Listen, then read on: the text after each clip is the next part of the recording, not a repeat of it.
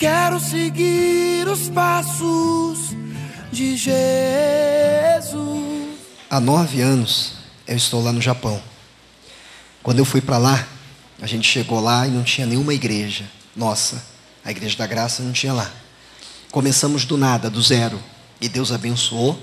Depois de nove anos, nós temos sete trabalhos lá, para a glória de Deus. E pessoas estão se convertendo, conhecendo Jesus lá. Até mesmo brasileiros que estavam aqui há anos, pessoas de 40, 50 anos de idade, que nunca tinham entrado numa igreja evangélica. É até difícil entender isso. Mas lá foram e se converteram para a glória de Deus. Então Deus tem operado, Deus tem derramado a graça dele. Agora, todo o tempo foi assim? Infelizmente, não. Eu fui para a igreja, contar um pouquinho só da minha história. Eu fui para a igreja, eu tinha nove anos. Com 10 anos, eu me perdi no mundo. Eu parei de ir na igreja. Com 11 anos, mais ou menos, eu parei de ir na igreja. Aí, eu comecei a me envolver com pessoas que não era boa, não. Lá no meu bairro, na rua onde eu morava, no prédio onde eu morava. Eu comecei a me envolver com eles. E com 12 anos, eu já estava fumando e bebendo. Com 13 anos, eu já estava usando maconha. Com 14, eu já estava traficando a maconha aos 14 anos mesmo para 15, eu já me enfiei na cocaína, comecei a cheirar a cocaína e comecei a traficar. Carregava uma 635 de um lado, que é uma arma automática pequenininha, desse lado aqui, e do outro lado um 32 cromado. Carregava essas duas armas na cinta. E isso com 14, 15 anos de idade. Lá em São Paulo, no bairro da Liberdade. E eu me aprofundei tanto na droga que eu vou te falar a verdade. Eu gostava da cocaína. Só gostava, pastor, gostava. Eu estava tão entregue, eu eu estava tão dentro do negócio que eu não era aquele viciado que a pessoa muitas vezes fala assim, nossa, né, coitado, tá lá entregue, não, eu gostava do negócio. Eu gostava de cheirar, eu gostava de pôr na boca, sentir adormecer, tanto que eu fui chupar uma pastilha hoje, é, esqueci o nome dela, e eu pus na boca, comecei a, a, a, a chupar ela, eu tirei da boca na hora e joguei fora. Por quê? Porque ela contém xilocaína. E me trouxe lembrança ruim. Eu senti na hora aquele sabor, aquele gosto da cocaína. Quando adormecia a garganta e a boca. falei, não quero isso, está amarrado. E me lembrou daquela época. Por isso que eu estou comentando com você aqui agora. E foi uma época ao qual eu sofri muito. Os meus pais sofreram muito. E eu só consegui me libertar pela perseverança do meu pai e da minha mãe na igreja. Eles ficaram seis anos orando e buscando pela minha vida. Toda vez que eu chegava em casa doidão, minha mãe olhava, meu pai olhava para mim e dizia assim: Filho, Deus tem uma obra na sua vida. Eu então ouvia aquilo, saía de lado, tá bom, pai, e saía. E de repente a coisa foi passando. Toda vez que eu chegava em casa, Deus tem uma obra na sua vida. Eu tive uma overdose aos 17, 18 anos, eu tive 17 anos, com 18 eu já estava voltando para Jesus. Eu tive uma overdose e eu tive uma experiência muito estranha. Eu estava em casa, meu coração disparou. Ele ia lá no alto e voltava. Parava de, de, de, o batimento cardíaco diminuía. Eu sentia minha blusa, ela pulava, de tanto que o coração batia forte. E eu estava dentro de casa andando para um lado e para o outro no, na sala, com medo do meu coração parar e eu morrer. A sensação muito horrível. O meu pai, eu não fiz nenhum barulho. O meu pai acordou na madrugada e desceu as escadas. Foi por Deus, irmãos. Ele olhou e falou: Filho, o que, que você tem? Foi tomar, pai, acho que eu vou morrer. Meu pai ouviu isso, sabe o que, que ele fez? Ele foi para a escrivaninha dele, sentou, abriu a Bíblia e começou a ler Isaías. Eu andando para lá e para cá e ele lendo Isaías. Eu tinha dito que eu ia morrer e ele lendo Isaías. Na hora eu não entendi nada, depois eu fui entender. Ele lendo as passagens, eu lembro que uma hora eu parei, eu senti que meu coração estava lá no alto, daqui a pouco ele foi parando, dando aquele sopro, aquela batida devagar. Eu comecei a ficar zonzo, suando, suando frio já.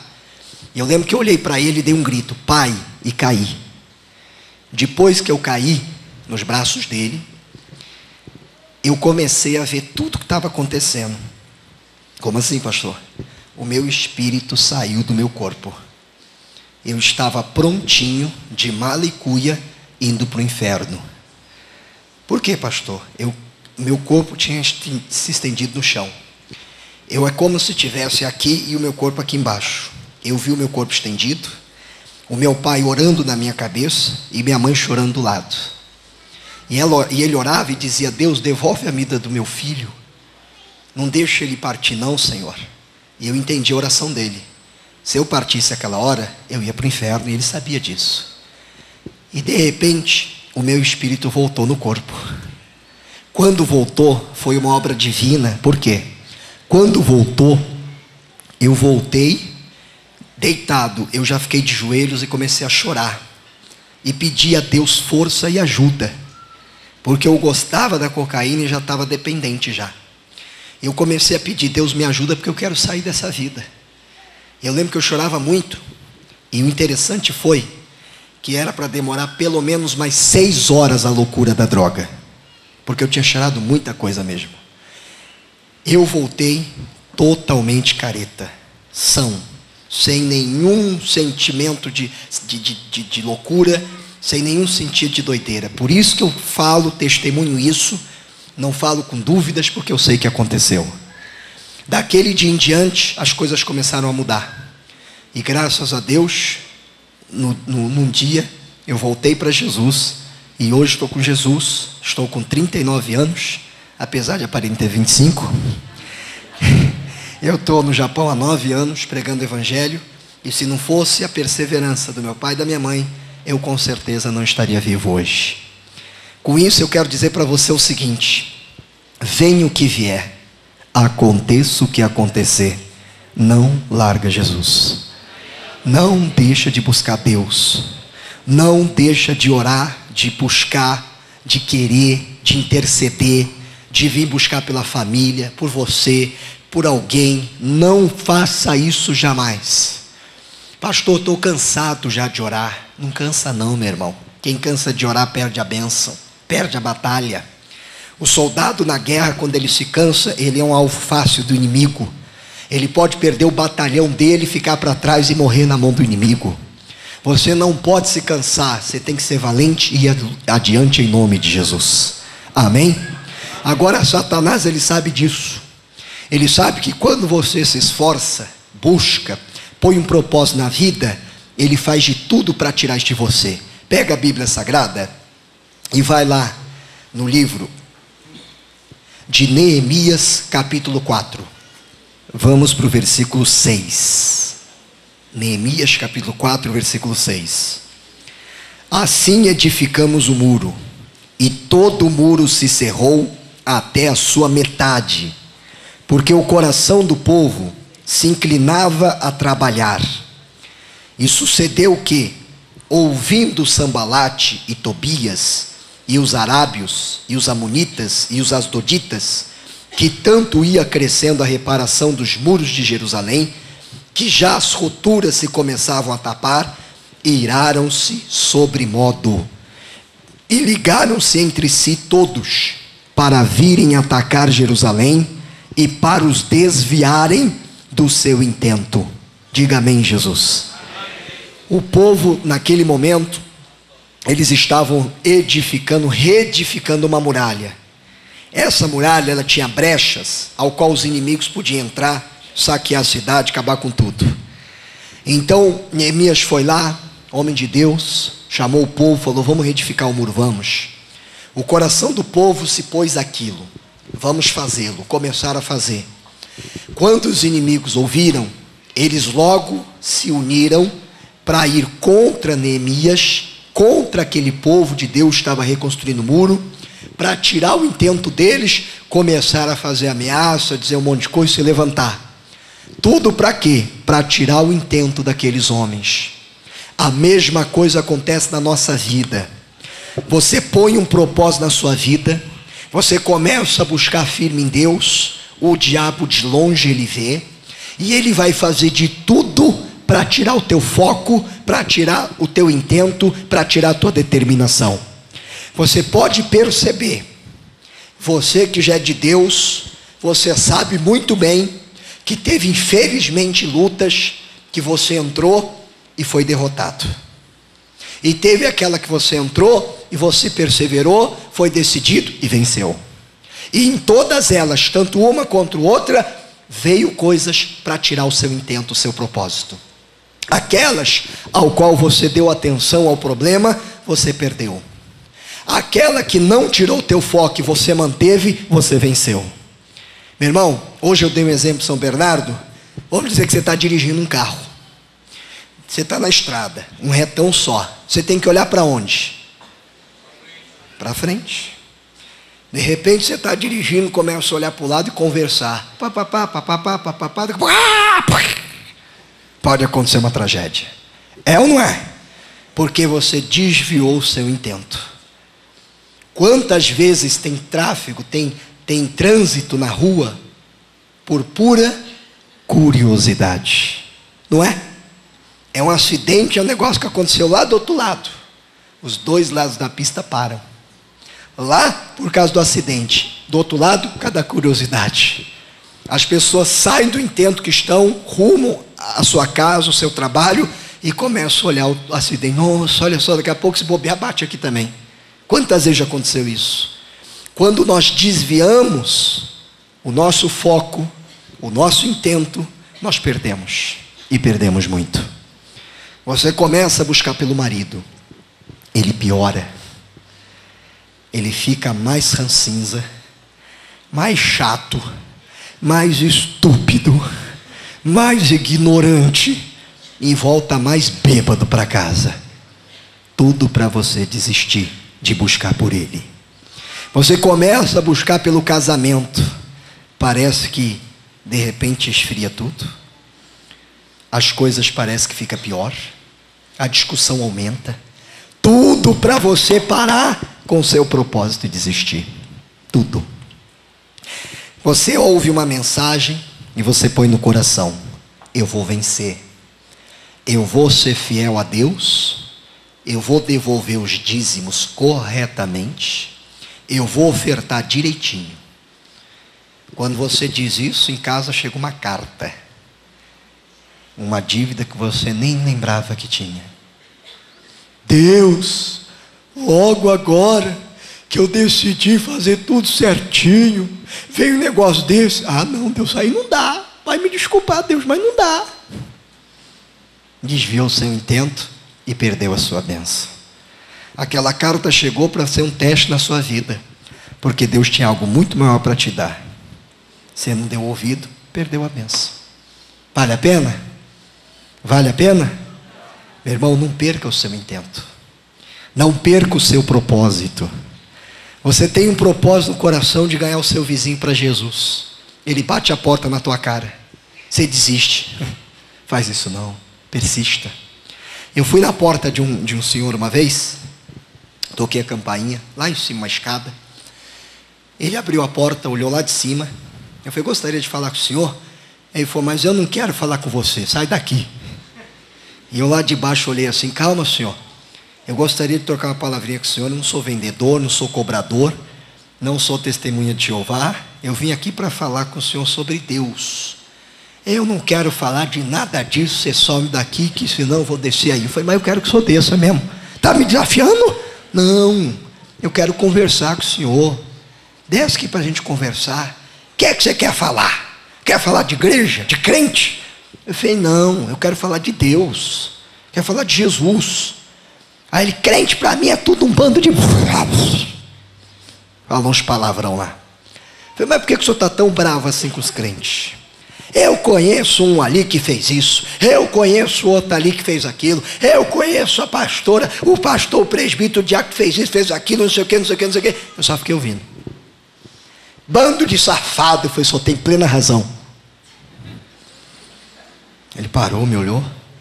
É tudo uma cambada sem vergonha. Esses são mesmo. Aí ele parou, olhou para mim. Rapaz, espera que eu vou descer. Desceu, abriu o portão e eu lá quietinho. Tinha acho que 19 anos.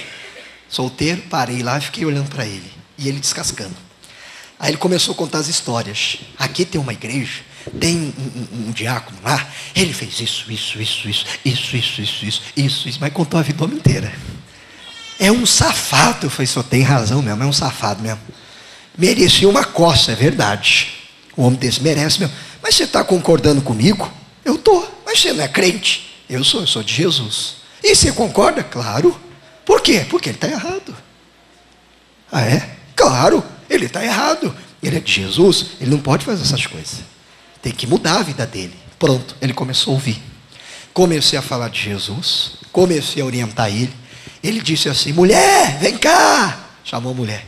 Prepara um café que eu vou levar um rapaz aí para tomar um café com a gente. Eu falei, aleluia.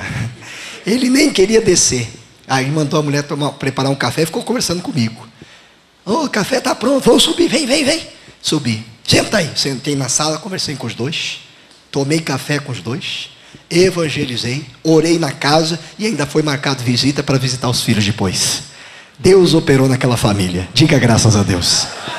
Se eu olhasse ali e aceitasse toda a ofensa dele, ameaça, eu tinha perdido aquela alma.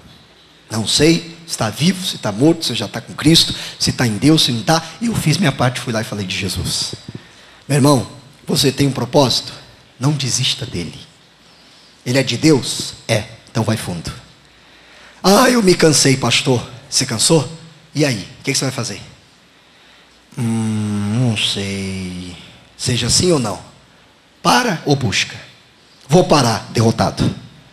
Será um derrotado. Você quer ser derrotado? Ih, não senti firmeza, não. Vou perguntar de novo: você quer ser um derrotado? Agora eu senti firmeza. Diga a pessoa do seu lado: eu não vou ser um derrotado.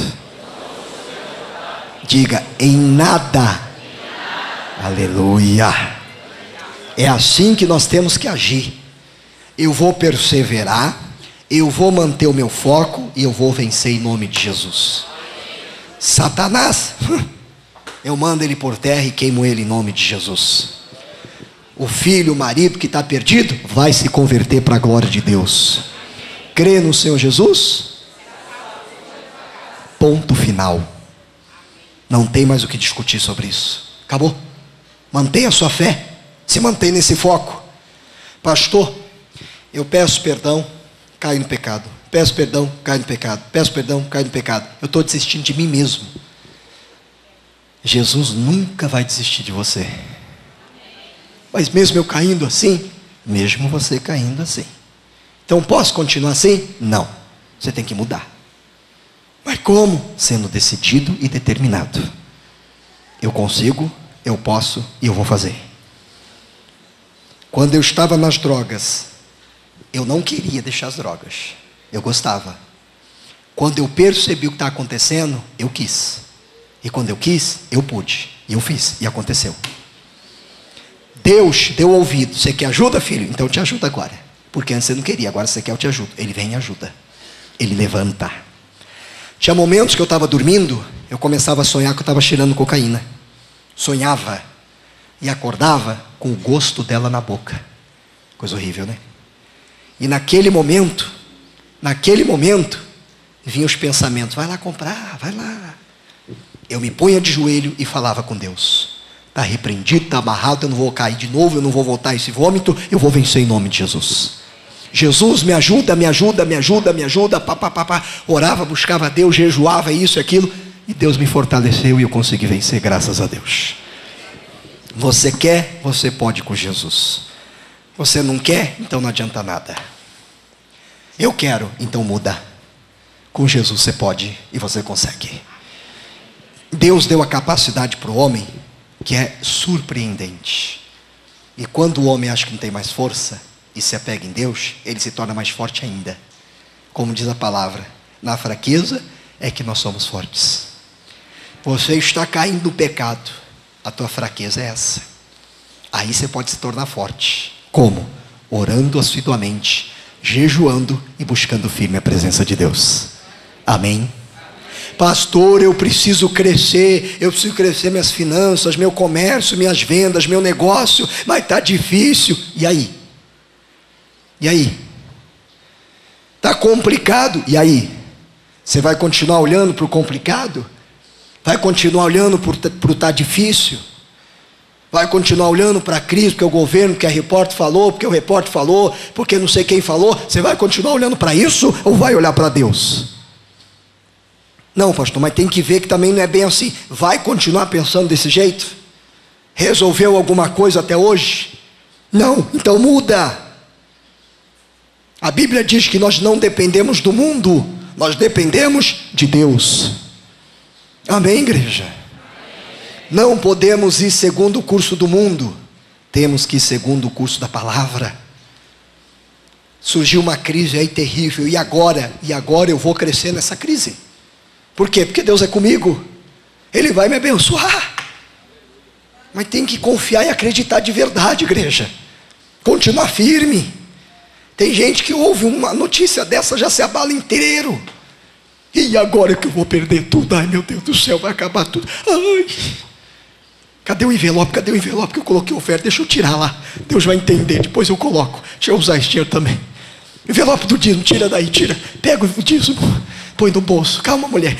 Quando melhorar, a gente volta a ser fiel. Quando melhorar, volta a ser fiel.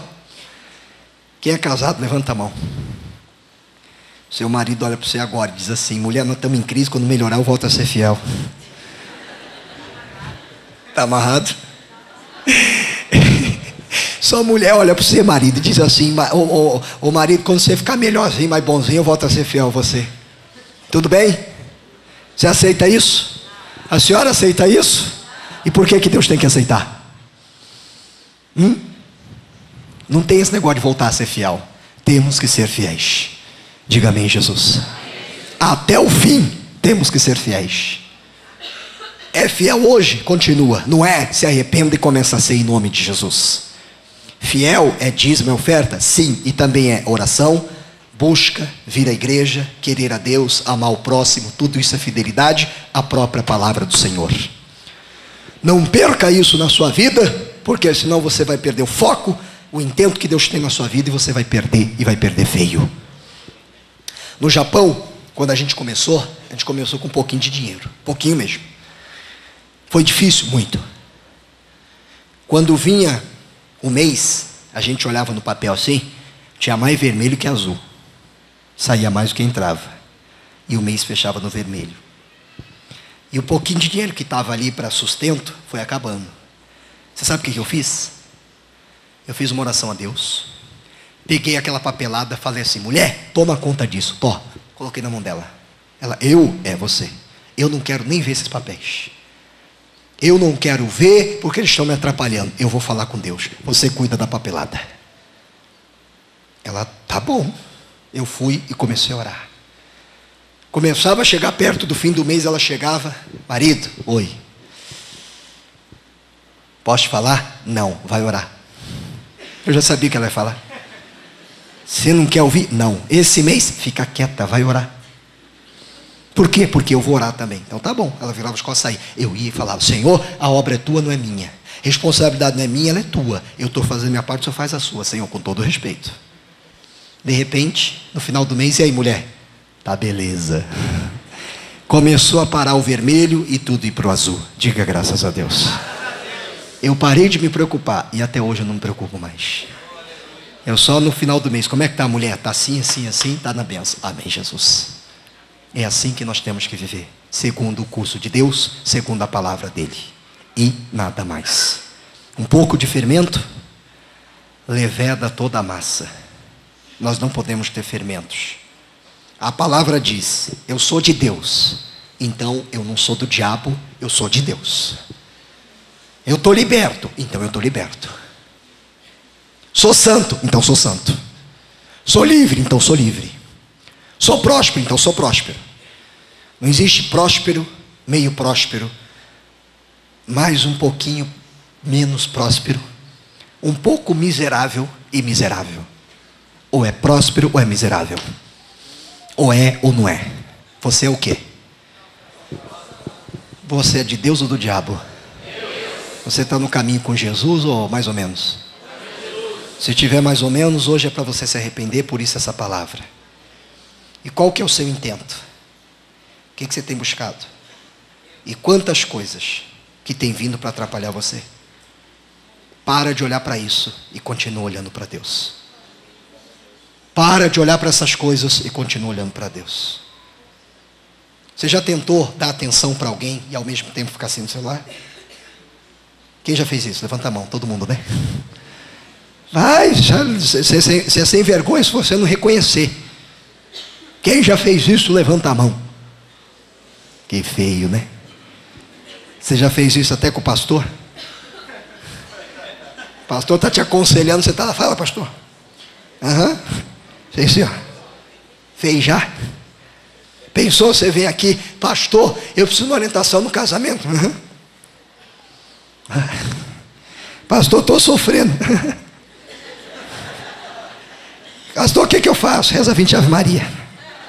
Ô pastor, ô, perdão, quer dizer, vamos orar.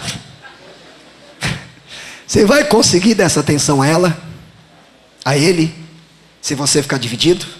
Vai? Se você tem buscado a Deus, foca em Deus e vai adiante.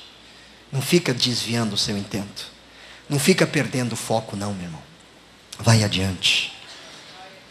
Um cisco apareceu no meu olho. Pai, pinga o colírio, tira fora. Mas não perca a visão em nome de Jesus. Tá indo adiante, continue indo adiante. Vieram para tirar o intento deles. Eles oraram, buscaram a Deus e venceram. Terminaram as muralhas e tiveram a vitória. Assim vai ser na sua vida se você der ouvido a essas palavras. Amém? Vamos confiar? Vamos crer? Então nós vamos fazer uma oração agora.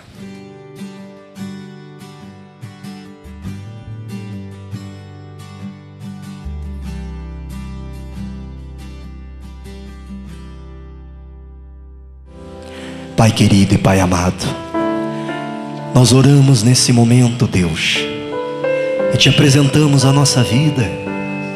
Pai, quantos aqui, meu Deus, estão muitas vezes tropeçando muito. Pessoas, meu Deus, que estão na igreja, mas de repente, meu Deus, tem tropeçado na sua caminhada. Meu Deus, tem faltado com, a, com o Senhor. Pai, de repente essa pessoa está aqui agora, está dizendo, Pai, eu preciso de força. Eu preciso de força para vencer. Eu preciso de força para passar por cima dessa luta. Pai, o Senhor me trouxe aqui hoje para ela ouvir essa mensagem, essa palavra. Ainda, meu Deus, que com quase sem voz que eu estou aqui. Mas o Senhor trouxe a palavra e está falando agora ao coração de muitos. Pai, que essa pessoa agora ore com sinceridade, ouve a oração dela, Pai, atende o clamor dela, Pai. Oh, poder de Deus em um trem ação. Liberta essa pessoa, Pai, que está presa no vício, seja do cigarro, da bebida, de uma droga. Meu Deus, ajuda essa pessoa a sair desse vício do pecado, do vício da pornografia, da prostituição, do vício da lascívia, o vício, meu Deus, até mesmo da masturbação. Pai, ajuda essa pessoa a vencer tudo isso, Pai. Dá força a esse jovem, a essa jovem meu Deus, que quer viver uma vida reta, santa, pura diante do Senhor. Oh, poder de Deus entra com a força do Senhor agora. E dá força para ele, Pai. Dá força para ela. Essa pessoa que reconhece, meu Deus, que tem andado errada e pede perdão, perdoa. Limpa, Pai. Renova, Senhor. E traz para essa pessoa um refrigério Traz para essa pessoa, meu Deus, uma novidade de vida. Traz para ela um renovo espiritual, Senhor. E que todas as maldições, todas, meu Deus, pragas, obras do inferno caia por terra em nome de Jesus. Toda maldição desapareça. Todo mal na vida dele, na vida dela, suma em nome de Jesus. Pai, e que haja força, que haja unção a graça divina e o poder do Senhor manifestado. E essa pessoa que diz: Senhor, eu te aceito, eu quero o Senhor na minha vida, entra no meu coração e faz morada. Entra, Pai. Limpa essa pessoa. Limpa, meu Deus, esse coração. E que essa pessoa possa, meu Deus, a partir de hoje ter uma nova vida. Uma vida em Jesus. Uma vida transformada, uma vida limpa. Uma vida reta uma vida santa e pura diante do Senhor. Pai, que aquilo que estava desviando o propósito e plano dela, o intento, que caia por terra e que ela consiga manter o foco, caminhar firme e ser uma bênção em nome de Jesus. Diga assim comigo, igreja, em nome de Jesus. Nada vai atrapalhar o foco em Jesus. Todo aquilo que se levanta, eu amarro, eu repreendo e eu ordeno. Fora, em nome de Jesus. Diga obrigado, Senhor. Vamos aplaudi-lo, igreja, ele merece.